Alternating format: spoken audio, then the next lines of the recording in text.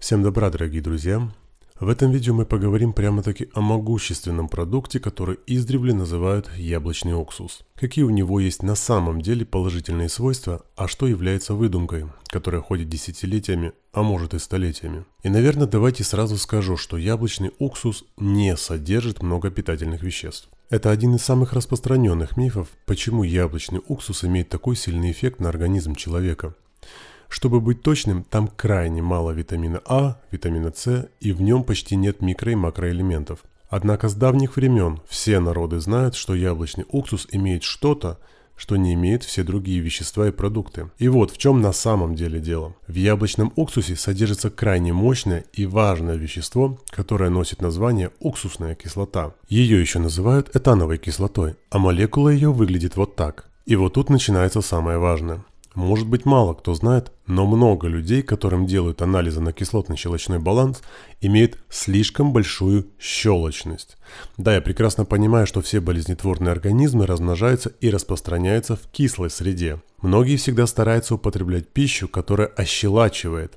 И мы знаем, что важно соблюдать кислотно-щелочной баланс. Но важное кроется в том, что у каждой части нашего организма свой собственный уровень. Показатели колеблются от 0 до 14. То есть 0 это кислая среда, а 14 это очень щелочная. Однако это совсем не означает, что 14 это хорошо. Чтобы стало более понятно, давайте вспомним один факт. Кровь человека имеет показатель близкий к 7,40. Однако, если этот показатель будет отклонен в ту или иную сторону на более чем единицу, то человек может впасть в кому. Именно это часто и происходит от передозировки любых химических веществ. Таком случае приходится срочно выравнивать баланс до 7,40. Кстати говоря, когда случаются ошибки, когда пациенту ввели также слишком высокую дозу какого-то препарата и кровь стала слишком кислой или слишком щелочной. Поэтому, когда вам говорят, что вы слишком закислены, то важно переспросить, о какой жидкости идет речь. О крови, моче, слюне, желудке или кишечнике. Самым фундаментальным показателем кислотно-щелочного баланса, разумеется, является кровь человека. Ее показатели незамедлительно влияют на все остальные жидкости в организме. Однако дело в том, что если у человека взять кровь и попытаться измерить ее уровень, то уже сразу после забора крови она, кровь, взаимодействует с кислородом и моментально меняет свой баланс в ту или иную сторону. Поэтому делать анализ и на его основе действовать не всегда представляется возможным. В большинстве случаев люди руководствуются симптомами. Например,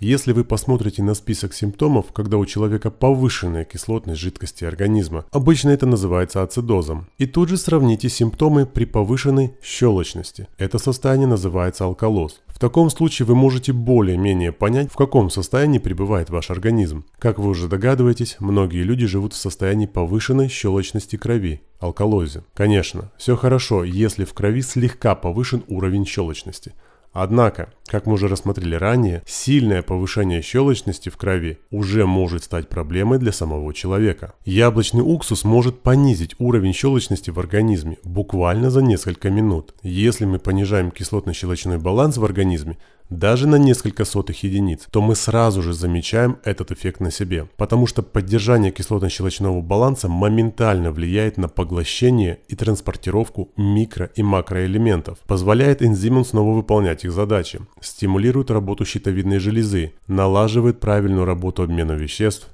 и так далее. Поэтому давайте внимательно приглядимся к уксусной кислоте. Кислотно-щелочной баланс яблочного уксуса колеблется от 2 до 3 единиц. В данном случае это довольно большая кислотность, которая близка к показателям желудка в организме человека. Таким образом, когда люди принимают яблочный уксус при нарушениях в желудке, кислотность поднимается. Например, яблочный уксус принимают при изжоге. Что такое изжога на самом деле? Если объяснить очень простым языком. Когда человек чувствует изжогу, то это означает, что желудок имеет повышенную щелочность. А когда желудок слишком щелочной, то клапан желудка или нижний сфинктер пищевода не может закрыться. В таком случае люди часто говорят, что мол у меня в желудке слишком много кислоты. Однако все с точностью да наоборот. Ваш желудок имеет повышенную щелочность. И в таком случае, если принять немного яблочного уксуса, то он понизит щелочность, тем самым приводя к здоровому балансу в желудке. Таким образом, тот самый клапан желудка или сфинктер снова станет закрываться и кислота не будет покидать желудок через него. Почему появляется изжога? Когда человек покушал, то человек закономерно начинает вырабатывать желудочный сок. Однако, если сок недостаточно кислый, то пища, соответственно, не может быть переварена. Тогда желудок еще больше начинает выделять желудочного сока, чтобы помочь побыстрее переварить ту пищу. И когда этот процесс повторяется снова и снова, то, как мы уже поняли, желудочного сока становится слишком много, и он начинает выходить наружу из желудка. А выпив немного яблочного уксуса, мы повышаем кислотность, и пища переваривается уже лучше. Поэтому яблочный уксус решает проблему не только с чувством изжоги, но и пищеварения в целом. Это часто касается людей, которым более 50-60 лет. Дело в том, что с возрастом желудочный сок становится более щелочным, то есть в здоровом состоянии он должен быть достаточно кислым, Поэтому, если вы знаете, что у вас повышенная щелочность в желудке, то она может быть выровнена в домашних условиях с помощью яблочного уксуса. Это позволит вам правильно расщеплять белки и впитывать витамины, микро- и макроэлементы. Если у человека нарушен pH желудка, что довольно часто встречается, то у таких людей автоматически проблемы с кальцием. А точнее, усвоение кальция замедляется или прекращается полностью. Таким образом, кальций начинает откладываться в мягких тканях организма, что неминуемо приводит к отложениям кальция во всем теле. Именно поэтому, когда вы видите пожилых людей, которые чувствуют себя как бы скованными в своих движениях, то это те самые отложения кальция в теле. Та же самая причина может лежать в основе артрита и артроза. Когда в тех тканях, которые должны быть мягкими, подвижными и тянущимися, становятся каменными, и уже не могут правильно выполнять свою функцию. Как результат, люди начинают чувствовать боль, хруст, щелканье и так далее. Один интересный факт.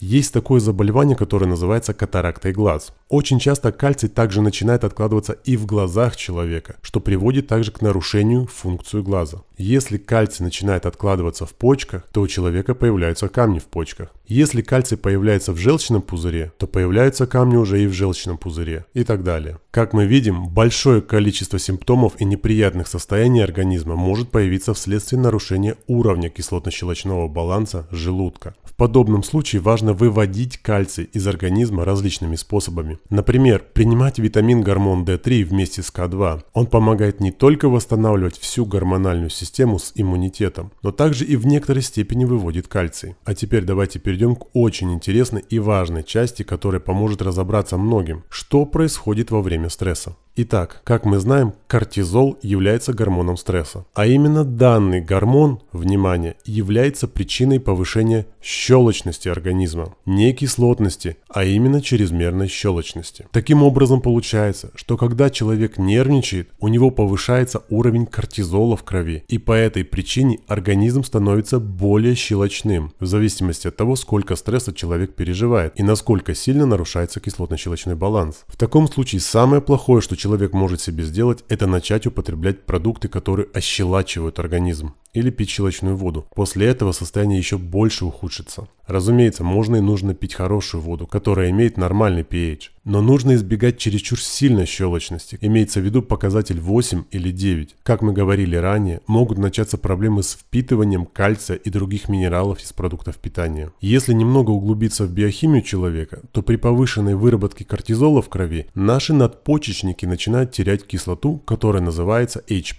Они начинают ее выводить из организма через мочу и тем самым организм становится более щелочным. Кальций начинает откладываться в тканях организма и в таком состоянии человек испытывает именно дефицит кальция, так как он просто недоступен для обмена веществ. Помните, когда у вас после стресса начинает дергаться века или другая мышца на лице? Это все следствие изменения кислотно-щелочного баланса в организме и моментальное понижение кальция. Иными словами, когда вы нервничаете, то глаз дергается от недостатка кальция. Конечно, можно принимать сразу больше кальция, как биодобавку, но как мы разобрали выше, он не будет усваиваться организмом, если человек нервничал и его уровень кортизола повышен. Но единственное, что может помочь любому человеку, это выпить небольшое количество яблочного уксуса. Уровень щелочи сразу же понизится, и организм снова сможет усвоить кальций. Подергивание глаза или другой мышцы лица в скором времени пройдет. Неврит или артрит В этих случаях можно помочь точно таким же способом – дать яблочного уксуса. Признаки могут быть совершенно разные. Иногда боли и спазмы переходят с одной руки на другую или непрекращающиеся боли в спине. Во многих случаях можно попробовать сбить чрезмерную щелочность при помощи яблочного уксуса.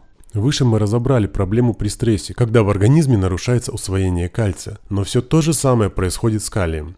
Иногда можно услышать, что яблочный уксус либо содержит калий, либо помогает усваиваться микро- и макроэлементам. Но это не совсем так. Яблочный уксус помогает предотвратить потерю кальция, калия и других веществ за счет того, что понижает большую щелочность. Типичные симптомы при дефиците калия – повышенное кровяное давление, быстрая утомляемость, частые запоры и так далее. И когда вы слышите, что многие советуют пить яблочный уксус при таких симптомах, то он, конечно же, поможет, так как приостановит потерю калия из организма за счет выравнивания кислотно-щелочного баланса. Сейчас крайне модно следить за своей фигурой, и многие стали ходить в тренажерный зал и тем самым употребляют довольно большое количество белковой пищи, либо протеина в чистом виде, как биодобавку. Но немногие слышали, что белок содержит такое вещество, которое биохимики называют гуанидин. Вот этот самый гуанидин является крайне щелочным соединением. Таким образом, даже если человек не нервничает и уровень кортизола в порядке, но он употребляет довольно большое количество протеина, то мышцы лица также могут начать подергиваться или появляются симптомы артрита.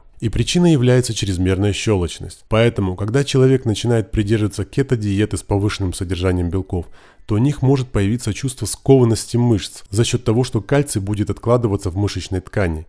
Поэтому можно сказать, что такой простой и дешевый продукт, как яблочный уксус, помогает даже спортсменам. Итак, яблочный уксус помогает усваивать минералы, нормализует кальций и калий, помогает переварить белковую пищу и помогает поддерживать иммунную систему. Многие слышали, что в холодное время года и при простуде нужно пить больше витамина С. Но важное заключается в том, что человеку помогает не сам витамин С как таковой. Некоторые даже не принимают настоящий витамин С, а употребляет его синтетически дешевый аналог – аскорбиновую кислоту. Тут нужно сказать, что аскорбиновая кислота вовсе не является витамином С по определению.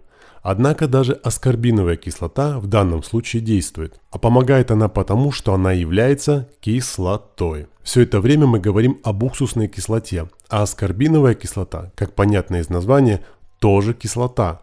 Она имеет примерно такое же свойство, как и яблочный уксус. Однако яблочный уксус – это натуральный продукт, который в долгосрочной перспективе принесет только пользу. Поэтому, принимая яблочный уксус, человек получает гораздо больше преимуществ. Когда вы или ваш ребенок простудится, начнется кашель, насморк и другие сопутствующие симптомы, то просто дайте ему немного яблочного уксуса в пропорции 1 чайная ложечка на 200 мл воды. Если вы хотите похудеть, то яблочный уксус помогает и сбросить лишний вес, даже через 2-3 недели приема. Таким образом мы разобрали, что кислота, содержащаяся в нем, помогает желудочно-кишечному тракту лучше работать и расщеплять пищу на составные части. Не уксус сжигает жир, как некоторые считают, а именно ускоренные процессы пищеварения дают такой прекрасный результат. И теперь я дам вам рецепт одного из самых мощных и простых напитков за всю историю человечества. О нем знали многие монахи, знахари, лекари и до сих пор применяют люди, которые восстанавливают здоровье. Итак, рецепт. Нам потребуется 1 стакан емкостью 300 мл, 2 чайные ложки яблочного уксуса,